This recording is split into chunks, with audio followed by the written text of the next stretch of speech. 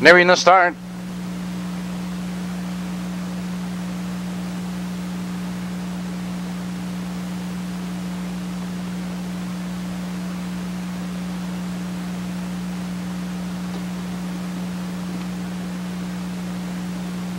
Merle trotting its chicory wind between horses out for the lead. There goes Midnight Sunrise, joined on the outside of horses Denny Two Zip and Billy S.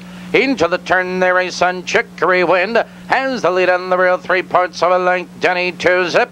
He's on the outside of challenging second, that's Midnight Sunrise. In third, rough gated and off stride. He's Broderick as they approach the opening quarter. And it's Chicory Wind with the lead a length and a half.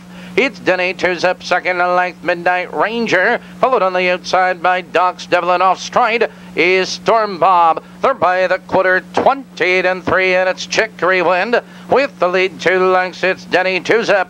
In second and length and a quarter Midnight Sunrise, followed on the outside by Broderick. On the outside of horses, it's Billy S. Doc's Devlin, followed to the outside now as they race around that clubhouse turn. And Chicory Wind has the lead two lengths, Denny Two Zip. He's right there in second. Broderick Midnight Sunrise. The half one a one and two. Now they settle up the back stretch. It's Doc's Devlin a length and a half. It's Denny two zip. In second, Broderick in third, followed on the outside by Midnight Sunrise. On the outside of horses, it's Billy S. Followed by Doc's Devlin. It's Rock Creek and Pepper Stack. Now they move for the final quarter mile. And Chicory Wind leads the way with Broderick. On the outside, second, Denny two zip in third, followed on the inside by Midnight Sunrise, and off stride is Broderick.